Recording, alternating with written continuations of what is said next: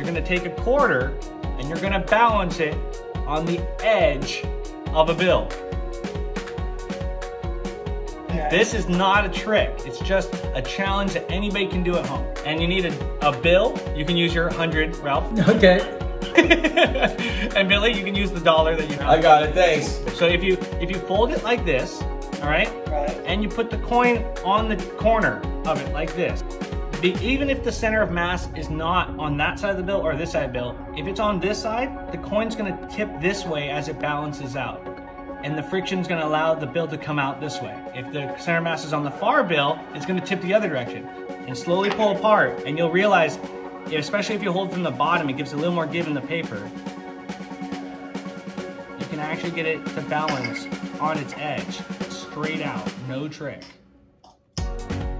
Go ahead and pull it, and don't drag it across the table. If you can, slightly lift it off the table as you're doing it. As you pull it tighter and tighter, Oh, Ralph's I about see. to get it. Oh, I see, I see. Yeah, yeah, yeah. I think Ralph's got it now. I Ralph, you nailed can, it. you can actually lift it up. I'm off the ground. Ah, yeah, and throw the kick. Throw the kick. Wait, look at this. Wait, I'm very proud of myself. Billy, Myself. Billy, Ralph's got it. I got it too.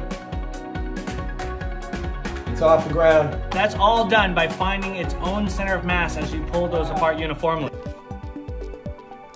Now I'm going to tape these three ends together. Now you want them roughly the same length because when the orb inflates because of static electricity, then we're going to want them to actually um, inflate evenly. Sometimes if you don't have enough of a static charge, it doesn't inflate evenly, but that's okay. All right, so I'm going to take this, tie this into a knot here.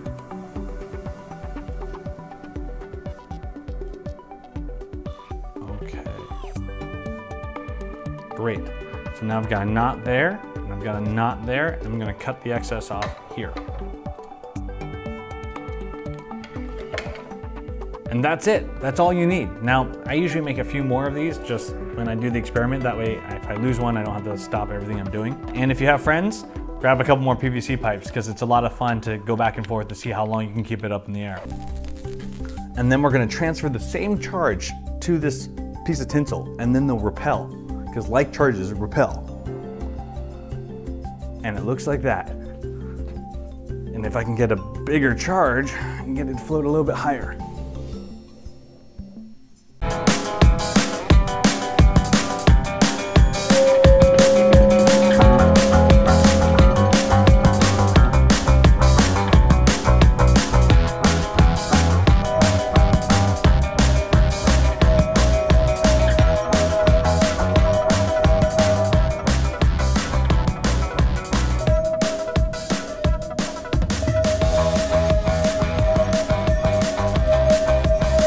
You how to set up this experiment. Uh, you're gonna need five toothpicks. They don't have to be the colored toothpicks. You can actually use any ones. The thicker the toothpick, the better. And what we're gonna do is we're gonna bend them. We're gonna try not to break them in half, but they're gonna bend like that. And we're gonna do it for all five.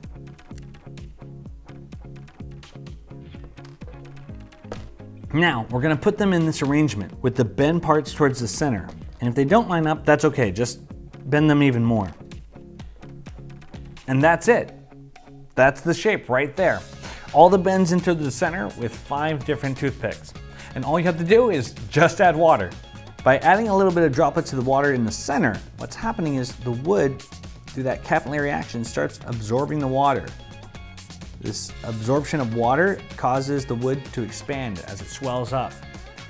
That swelling up straightens out those fibers and causes these toothpicks to move. Now you could just do this on a table and make it look like you have superpowers. Isn't that great? Just moves on its own. Is to use a second pen.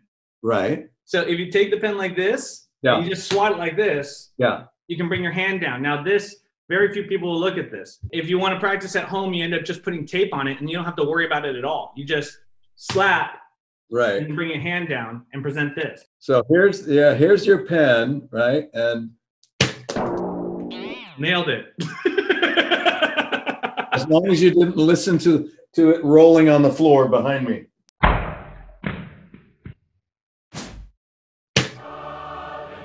Perfect. Yeah, and then yeah. Oh, I saw the I saw the little lap action going on there, pulling it off the back of the table. That's Uh, so that Maybe you saw that. I don't think other people would see that. Okay, I won't. I won't call attention to it. I won't call You're attention supposed to it. be looking at this. But this is now your optics of invisibility. That's cool. That's fun. Thank you. Watch. Did you see that? I have several pens I planted up my na- nasal cavity. You, you can keep those pens now, by the way. you don't want them back. I'm gonna show you how to draw an anamorphic image. Now I scoured the internet and found a super simple way to do it and you're just gonna need a few items. You're gonna need some paper, a pencil, a regular marker, I'm gonna use a Sharpie here, a regular marker, a fine tip marker, and I'm gonna be using a straight edge, actually I'm using a triangle for this one. To do this, I'm gonna draw a four inch by four inch square. Now I'm using this triangle because that will give me my right angles. And if I do this right, we're gonna end up having a drawing that looks like there's a hole in the table. So you have a square. Now just connect the diagonal. And then we're gonna be making a couple of L's. I'm also drawing this upside down compared to what you guys need to be doing on your side, so hopefully it'll look better for you than it does for me. Upside down, it's kind of confusing.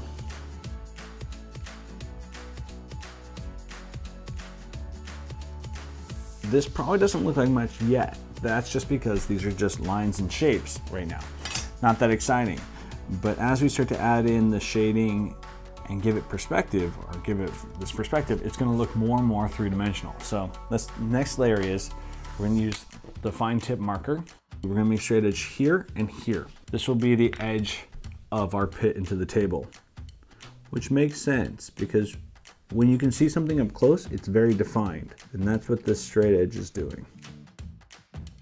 I was never good at drawing, so I always wanted to take my time, which is funny because I'm rushing right now. All right, next step, take your marker with the wider tip on it, and we're gonna end up drawing out these lines. Don't draw the diagonal, just the lines.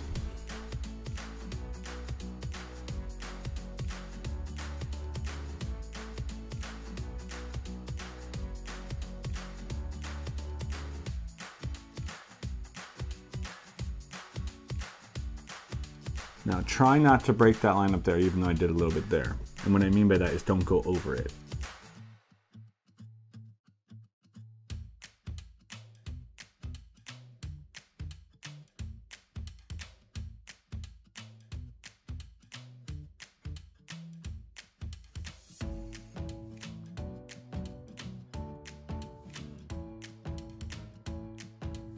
Okay, now the next step is we're gonna fill these in. I'm gonna start off with this square over here, and you'll see why I made that square, because that's gonna be the pit. That's gonna be where, where it kind of gets hard to see what's going on as far as perspective-wise right now, but we're just gonna fill in this spot. Again, you wanna stay within the lines, so take your time on the edges here.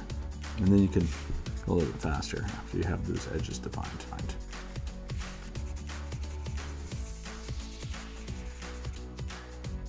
And then we're gonna alternate we're gonna make a black stripe up here. Now I'm doing the edge first so that I can go a little bit faster after that, but highly recommend doing the edges first. By the way, this is gonna look better on camera than it does in person, and that's because a camera only has, well, the cameras I'm using only have one lens. Well, you have two eyes. When you're seeing something with your eyes, you're actually seeing it from two different angles. Even though they're in the front of your head, you're actually looking at them from two different points. That allows you to see depth a lot better than with one eye. And there you have it, a pit and table. Today I'm gonna show you how to make one of these. This is a walk-along glider, or forever flyer. Believe it or not, these will actually fly forever, as long as you're willing to walk along the side of it. Now, I'm gonna go over a step-by-step process of how to make them, but if you didn't understand how they work, it would look like magic. So let's cover the four forces of flight. When you throw a frisbee, there's four forces at play. Thrust, drag, lift, and weight. Your arm gave the frisbee thrust. That's the force that moves an aircraft in the direction of motion. On a plane, it's the engine, the propeller, or even the rocket that creates the thrust that is moving the plane forward through the air. But drag is the force that is opposite to the direction of motion. Drag is caused by the friction of air molecules, and it's the reason the frisbee slows down. Lift is the force that holds up the frisbee. It's caused by a difference in air pressure between high air pressure below and low air pressure above the frisbee. And weight, which is caused by gravity, that's the force that brings the frisbee back to the ground. Lift is opposite to weight, thrust is opposite to drag. If the force of lift is greater than the weight, the aircraft will rise. If thrust is greater than drag, the aircraft not only moves forward, it speeds up as it goes. So when we're talking about steady flight at a constant altitude, at constant speed, all forces are balanced. All right, now that we understand the four forces of flight, let's apply them towards a paper airplane. Now, a glider doesn't really have thrust, so we're gonna use the other forces. Weight has to do with the paper itself. I strongly recommend the lightest paper you can find. Encyclopedia paper, phone book paper, as long as your parents are okay with that. At the end of the episode, I'm gonna show you how to make this walk along glider because it won't work for every paper airplane. It's gonna work for a paper airplane that you can walk alongside of, which will help us with our drag. Which brings me to this. This is gonna help us create lift with an updraft. It's a panel that's uh, two feet by three feet, and I have a couple paper clips here for a launch pad. And as I walk forward, air is gonna actually blow against this board, and it's gonna keep the paper airplane up. This paper airplane with this panel makes a paper airplane that flies forever. Well, as long as you can walk alongside of it. So let's get this thing going. All right. Three, two,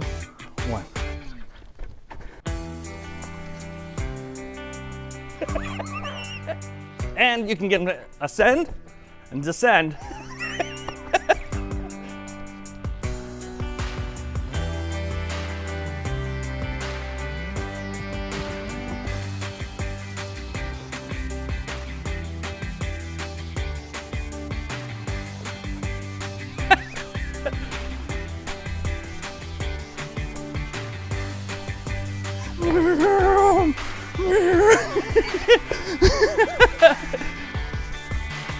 Check it out. All you need is deck of cards, and out of this deck, you only need nine playing cards. So just count out nine cards. One, two, three, four, five, six, seven, eight, nine.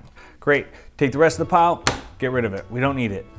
Now, take those nine playing cards, square them up, and flip them over face up so now we can see the numbers on them. And when you fan them out, you're gonna look for the third card from the bottom of the fan, or what is also the third card from the top of the pile if they are flipped over. I know it gets a little tricky with that. So let me show you on my side, it's the nine of hearts. One, two, three, okay? That's also the third card from the top because if I flip my hand over, one, two, three, that's the nine of hearts. Now look at that card, memorize that card, but do not pull that card out. Just keep it in the third position.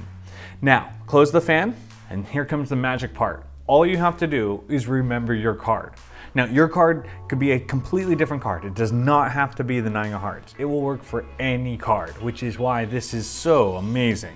Now, all you have to do is spell your card. Now, my card was a nine, so I'm gonna spell out the word nine. If you had an ace, you would spell A-C-E. If you had a two, you'd spell T-W-O. Same with a jack, queen, or king. You spell out the value of the card. So we're gonna spell nine on my side.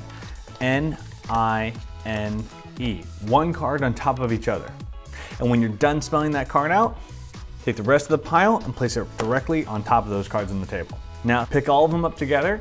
Now we're gonna spell the middle word, which is the same for everybody. So it's nine of, so we're gonna spell of, O-F. One card on top of another, and then take the rest of the pile, place it on top. Pick them all up. Now you spell the suit. So if yours was the clubs, you would spell C-L-U-B-S. Mine is the hearts, so I'm gonna spell hearts. Here we go. H-E-A-R-T-S. Take the rest of the cards, place it on top. Now, you could have had a different card than mine. You could have had the two of clubs or the three of diamonds, which would be far more letters than anything I picked. But if we spell the word magic right now, and you spell the word magic on your side, if you flip over the letter C in the word magic, that will be your card. Check it out. M A G I C.